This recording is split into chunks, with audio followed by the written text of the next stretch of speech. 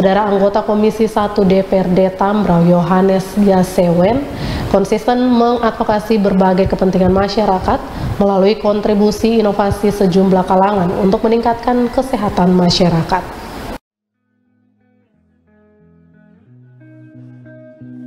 Konsistensi anggota Komisi 1 DPRD Tambrau, Yohanes Sesawan, disampaikan mengapresiasi pelatihan kader pembangunan manusia bidang kesehatan oleh pendamping program pembangunan pemberdayaan masyarakat desa P3MD bekerjasama dengan pemerintah Kabupaten Tambrau di Marriott Hotel Sabtu pekan lalu.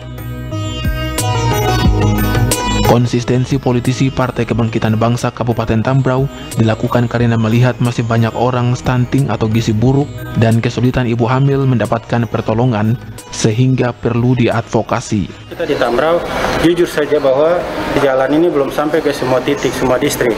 Oleh sebabnya eh, di Tambrau itu kita bicara soal stunting, gizi buruk dan kesulitan dalam ibu hamil untuk mendapatkan pertolongan itu sangat sulit karena ada wilayah yang kita harus jangkaui berjalan kaki 3-4 hari baru sampai. Ada yang tidak bisa kita harus mobilisasi eh, pembangunan itu apa itu semua lewat helikopter.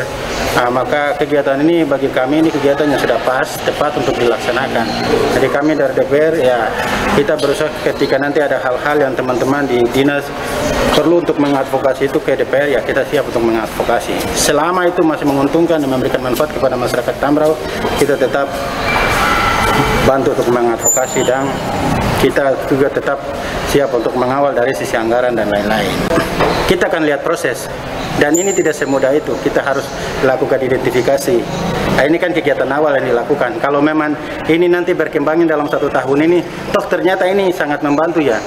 Kita akan berpikir ke arah situ untuk eh, bisa membuat dalam sebuah regulasi yang eh, keputusannya paten untuk harus dilaksanakan oleh pemerintah daerah dari sisi pengawasan, dari sisi penganggaran dan lain-lain.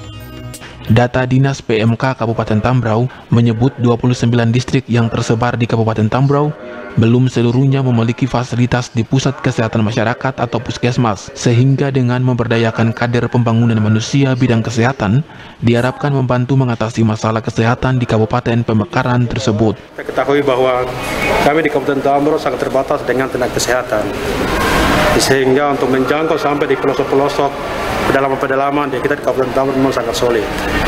Oleh sebab itu, harapan kami dengan kegiatan ini, dengan pelatihan kader yang ada ini, sehingga dapat membantu kami membantu pemerintah kampung, terutama kepala kampung untuk mengatasi masalah-masalah yang ada di kampung, terutama masalah stunting, kekurangan gizi apa gizi buruk, terkait dengan kekurangan guru-guru PAUD dan sebagainya. Jadi harapan kami semoga kader yang terbentuk ini segera segera untuk uh, bersama dengan pemerintah kampung untuk mengatasi semua masalah-masalah yang terjadi di kampung. Ini belum sampai ke semua titik. Anggrini Sumbung, Coba M Channel.